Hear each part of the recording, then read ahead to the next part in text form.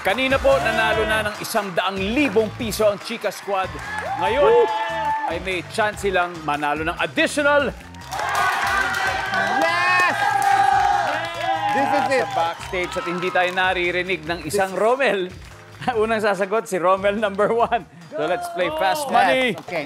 Para manalo ang team ninyo, kailangan magkaroon kayo ni Rommel ng combined score na 200 or more para maiuwi ang additional 100,000 Yes. pesos. Limang tanong na kailangan mo sagutin within 20 seconds. Give me 20 seconds on the clock, please. Pwede ka magpasa. Balikan natin kung may oras pa. Nag-survey kami ng isang daang lalaki.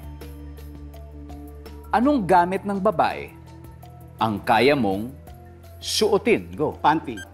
Paano ipinapakita ng boys ang pagiging gentleman? Ah, pinagbubukas ng kotse ang babae. Sa isang araw, ilang beses ka tinitext ng jowa mo? Ten. Libangan ng tao noong wala pang internet. TV. Kung kasali ka sa Santa Cruzan, anong gagawin mo para mapansin ka? Ah, bongga ang mga pailaw ko. Kuya Romel, tignan natin kung ilang points na mo. Yes. Eto na. Let's do this. Nag-survey kami ng isang daang lalaki. Anong gamit ng babae? Anong ang kaya mong suotin? Sabi mo, panty. Survey. Yes. Yes, top answer yan. 25 points. Aba. Paano ipinapakita ng boys ang pagiging gentleman sa amin mo pagbukas ng pinto? Yes. Survey. Yes. Answer! Top answer! Diyan yan. Pataasan. 12 points. 163 to go sa isang araw. Ilang beses ka tinetext ng jowa mo? Sabi mo, 10.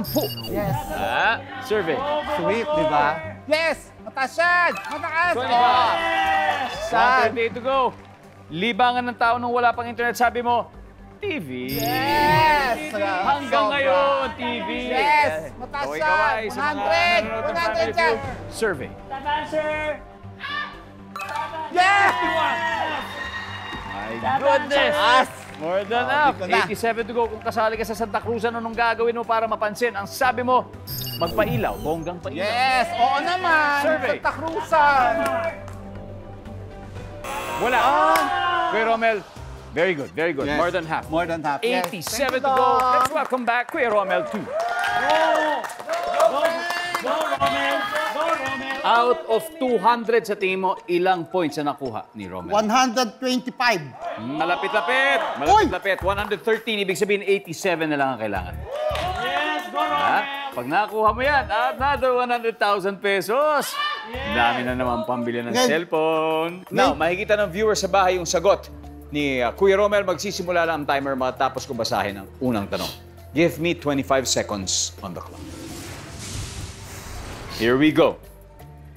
Nag-survey kami ng isang daang lalaki. Anong gamit ng babae ang kaya mong suotin? Go. Panty. Make-up. Paano ipinapakita ng boys ang pagiging gentleman? Ah, laging inaalalayan ng babae. Isa pa. Ah, nililibre lagi. Isang araw, ilang beses ka tinetext ng jowa mo. Wala akong jowa, so tatlo. Libangan ng tao nung wala pang internet. Ah, maglaro sa labas. Kung kasali ka sa Santa Cruzan, anong gagawin mo para mapansin? Magmaganda. Aya! Ang galing! We need 87 points. Kuya Romel, tignan natin ngayon. Tignan natin ngayon. Dito tayo. Sige lang. Kaya mo yan. Bakit parang serious ka? Parang ano eh. Ha, ha? Ano? Panty yun sinagot ko, parehas kami. O sige, tignan muna natin. Tignan natin. Ayon sa isang lalaki, anong gamit ang, ng babae ang kaya mong suotin? Siyempre, una sinagot mo panty pero nasagot na yan. So ang sabi, ng, ang sabi mo ngayon ay make-up. Tignan natin kung ano ang sabi ng survey sa make-up. Meron! Meron!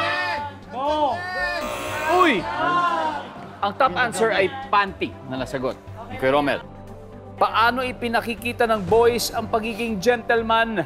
Ang sabi mo, nililibre. Yes. Ha? Survey. Yan. One point. Ang liit.